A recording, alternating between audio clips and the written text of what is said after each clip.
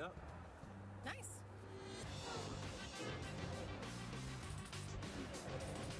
It's Vigo Millennium. I won't even need my picks. I'll just bump it. Ah, but with my modifications, it is unlike any other Spiegel on the market.